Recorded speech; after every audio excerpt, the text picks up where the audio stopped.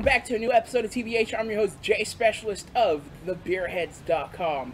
Let's get into today's episode. On today's episode, we're going to be going to San Diego, California to the Ballast Point Brewing Company to view their 5.2% ABV take on a Kolsch, their one and only, the original Ballast Point Pale Ale. This is basically the beer that started it all for them, and this is what it says on the side of the can. Our original pale ale is a rich golden brew crafted with aromatic German hops and rounded out with a blend of American and Munich malts. While it's hot like a lager, we ferment it like an ale to create a smooth, bright taste that offers just a hint of a fruity and spice notes. It's extremely drinkable like a Kolsch should be, and complex like a good craft beer demands. Let's get this into a glass, and I'll let you know what I think of this one.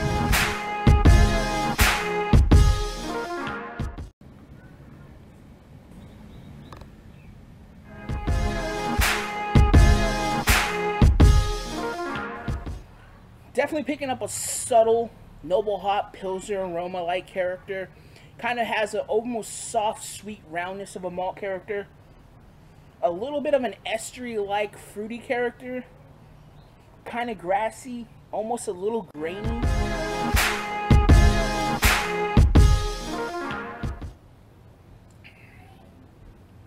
Yeah, very nice soft rounded character to this one. Hints of like an apple apple skin. Definitely a little grassiness in there, a little bit of a spicy tone. Not too heavily spiced, but you get like a noble character to this one. Definitely a nice subtle Pilsner dryness on this one. A little creamy. Nice medium-like body. Nice carbonation. Very interesting.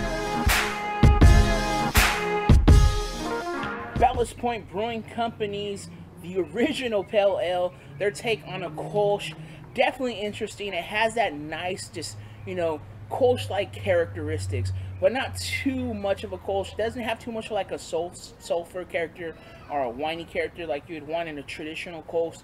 Um, does have those nice little esters, that soft rounded malt character, nice little pilsner, that dryness is there. But nonetheless, this is still a great take, you guys. This is definitely one to check out if you want something more just easy drinking, a nice little bit of bitterness on it. Not too hop forward, not too malty, just a nice roundness, easy, crisp drinking beer. Other than that, like I always say, live, learn, and drink. I'm going to enjoy my beer. You guys should do the same.